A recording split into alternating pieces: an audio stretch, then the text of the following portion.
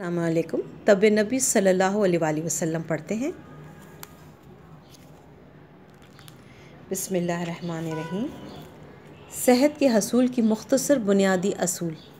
جماعت سے پانچ وقت نماز ادا کرنا یہ جسمانی و روحانی صحت دونوں کے لیے زندگی کی سب سے مؤثر اور اہم چیز ہے۔ ایک طرف نماز میں اللہ کو دیکھنے کی مشق ہے، جو کہ احسان کہلاتا ہے، جس کی وجہ سے دل کو قوت، فرحت اور وسعت نصیب ہوتی ہے۔ اور دوسری طرف ایک ہلکی پھلکی ورزش جس میں تقریباً ہر جور ہر حرکت میں آ جاتا ہے۔ مسنون دعاؤں اور تہجد کا اہتمام۔ آپ صلی اللہ علیہ وآلہ وسلم، اللہم صلی علی محمد علیہ وسلم کی مسنون دعائیں امت مسلم، مسلمہ کے لیے بہت بڑا تحفہ ہیں۔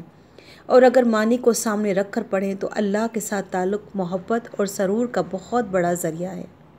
صدقے کا اہتمام آپ صلی اللہ علیہ وآلہ وسلم نے فرمایا، اللہم صلی علی محمد، کہ اپنے مریضوں کا علاج صدقے سے کرو، کھانے میں اسراف نہ ہو۔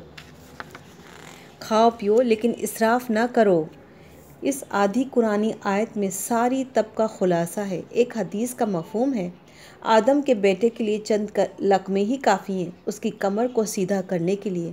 اور اگر لا محالہ کھانا ہے تو ایک تہائی کھانے کے لیے، ایک تہائی پینے کے لیے اور ایک تہائی سانس لینے کے لیے۔ صرف بھوک لگے تب کھائے اور پیٹ بھر کر نہ کھائے۔ کچھ بھوک چھوڑ دے۔ بہتر یہ کہ ہفتے میں دو دن سے زیادہ گوشت نہ کھایا جائے۔ سبزیاں اور پھلوں کا پھلوں پر اکتفا کیا جائے۔ جوڑوں اور ارکنسا کے مریضوں کو خاص خاص طور پر گوشت، کیلا اور چاول سے پرہیز کرایا جائے۔